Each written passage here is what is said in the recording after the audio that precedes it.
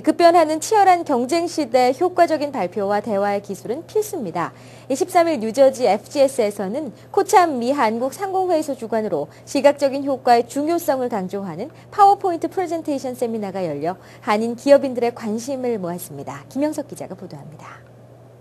한국 대기업 및 평창올림픽 2002년 월드컵 기업 홍보를 담당했던 대한 프레젠테이션 협회 이승일 회장이 뉴욕을 방문해 13일 한인 기업들을 대상으로 효과적인 프레젠테이션 방법에 대한 세미나를 열었습니다.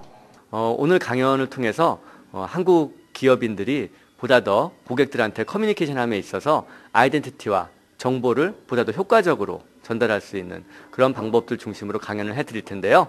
어, 많은 도움이 되시길 네, 저도 기대하면서 열심히 강의하도록 하겠습니다.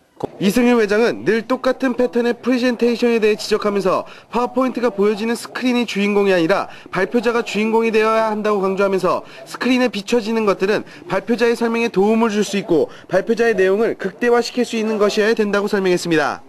프레젠테이션 바탕 화면의 경우 각자 회사에 맞는 색깔을 선택하는 것이 좋으며 텍스트와 애니메이션 등 특수 효과를 이용해 효율적으로 메시지를 전달할 수 있는 파워포인트를 제작할 것을 권장했습니다.